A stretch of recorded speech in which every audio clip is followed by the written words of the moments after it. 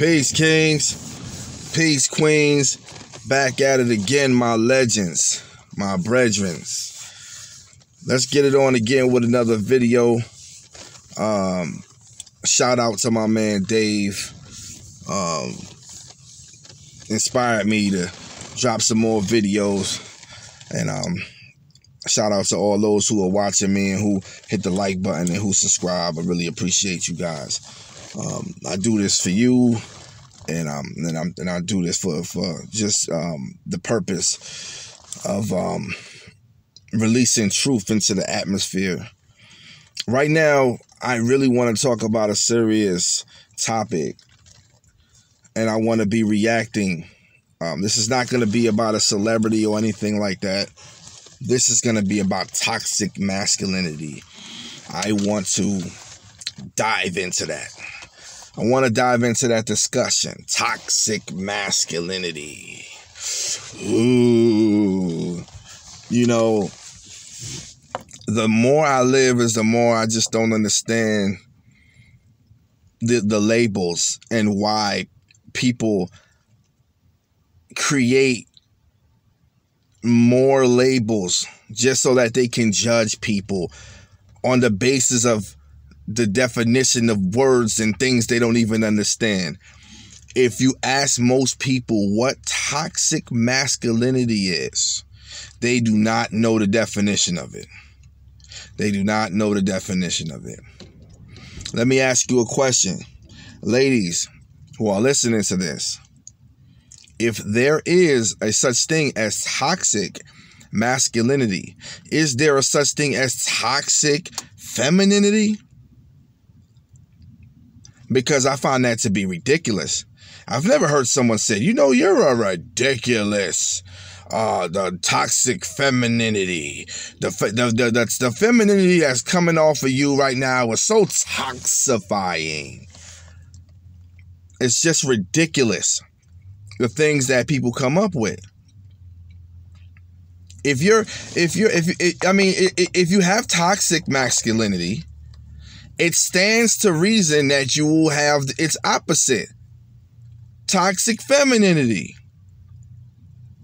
Now, you want to know what the true definition of toxic is? Hyper feminism. That's toxic femininity. If there is a such thing, that's toxic femininity. So we got to stop with the I don't I don't think to me toxic and femininity or toxic and masculinity go together. If you're a masculine man, that's a positive. If you're a feminine woman, that is a positive. How do you put something that is toxic next to masculinity? So you're saying I'm toxic because I'm a man. So can it be reversed and say you're toxic because you act like a female? You're toxic because you feel like the need to nurture? You're toxic because you feel the need to take care of your family. You're toxic because you you need you feel the need to, to be a housewife. You're toxic because you're emotional. You shouldn't be emotional. You know, that's the same thing because when you flip it, they say, well, men are not as emotional as women are, so that's what makes us toxic. Really? The fact that any difference about us makes us toxic to you. Are you sure you're just not toxic to difference? Why don't you just say toxic difference? He's different than we are, so he's toxic. Why don't we do that? Men are different than women, so that that that makes men toxic. Women are different than men, so let's make that makes women toxic that's the ridiculousness that is perpetuating itself through society today. So society today has nothing to do with itself but to promote more darkness throughout the stratosphere and want all of us to be the participants in this ugly race of a competition against each other. I'll tell you the truth, as a masculine male, I am never in a competition with a woman never in competition with a woman. A woman can be in competition with me all she wants, but as a masculine male, I am never in a competition with a woman because you cannot win a competition against a female. That is not how we are created. That's not how that's not how that's not how we're built. We're not built to compete with women. I'm here to protect women. I'm here to secure women. I'm here to lead women. I'm not here to compete with you. If I have to compete with you, then I will turn my back and I will leave you right where you standing. Because I have ordained headship. Me being who I am, I get my authority from another realm. I get my authority from a realm that's unseen. God, I have God given authority to be the head. That's not masculine. I mean, that's not toxic masculinity. That's masculinity. I'm masculine because we're powerful. We're masculine because we protect. We're masculine because we secure. We're masculine because we're we provide. Okay? We're masculine because we discipline. If those traits are mass are, are, are toxic, could you imagine a world without discipline and structure? Could you imagine a world where everybody's emotional and losing their minds? And going crazy. That's exactly what we have right now. We have men acting um, um acting soft and and and and and, and jellyback and won't stand up for their principles and morals. They won't lead their families. They won't be masculine. That's the problem. The lack of masculinity is the problem. The lack of masculinity not the strength thereof, the lack thereof. And that's the same thing with this on the side of, uh, of women. They are too masculine. A lot of women are too masculine when it should be more feminine. Because if I if you if she if she's in my role and I'm in her role, I can't do her role as good as she can.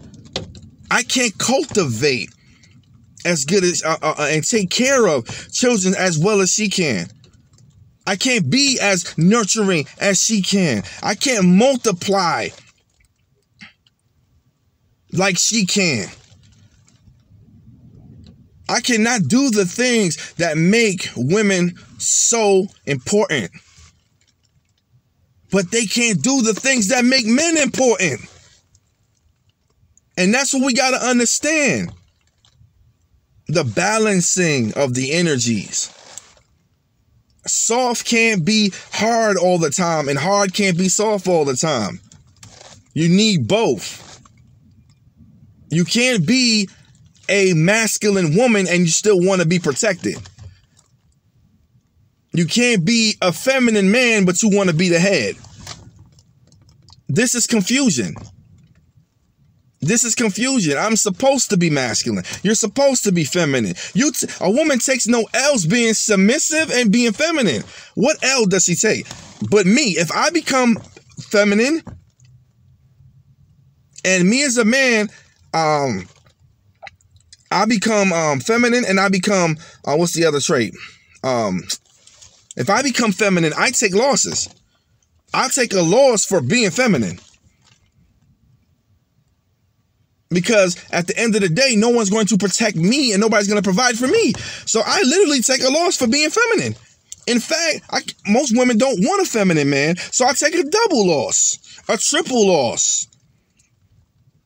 But if a woman remains in her femininity and submissiveness and makes the right choices of, of whatever man that she picks, he's going to protect her. He's going to provide for her. He's going to secure her. If I lose my masculinity, who's going to protect me? Who's going to provide for me? Who's going to secure me? Who's going to pay for me? Nobody's going to do it. So I have to be masculine. I need to be masculine. I need to walk. We need to walk in our masculinity. There's nothing toxic about masculinity. If you see a man that is, is out of control with his aggression, is out of control with his his his his um he can't control his hands, and his anger, that's him, that's be his him that's him being um over emotional and lack of control. He lacks self-discipline. That has nothing to do with masculinity.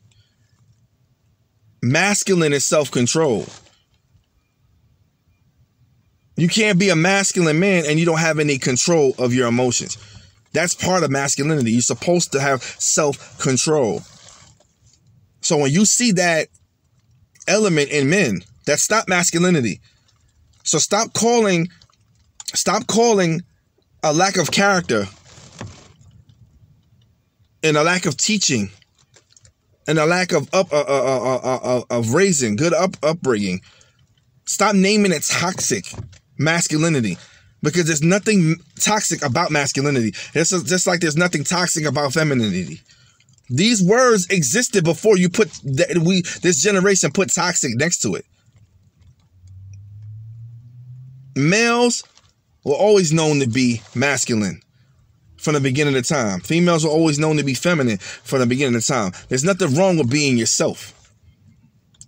And just because you're feminine, that doesn't mean you can't do what I do. Just because I'm masculine doesn't mean I can't do what you do. But why am I competing with you? Why why would I be why why are men competing with women? And why are women competing with men? We're supposed to be working together. We are supposed to be building generations and multiplying being productive. Life is hard enough than to be sitting here having a battle back and forth, men against women, women against men. That is ridiculous. We're not going to get anywhere doing that. Like I said, as a masculine male, I am never in a competition with a female. I refuse to participate.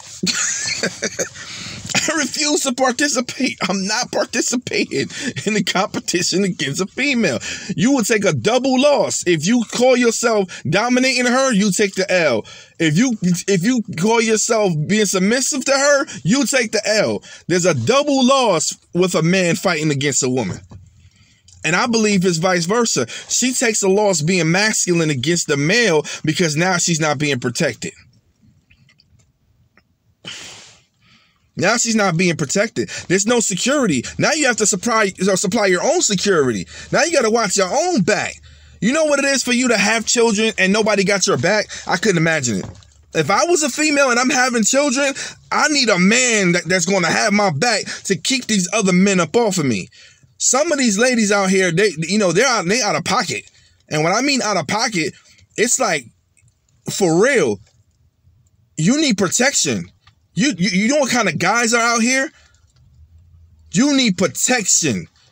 And nine times out of ten, it's going to be a man that's going to supply that protection, supply that, that, that security for you so that you can operate in your fem- femininity because we need that. That femininity brings us peace.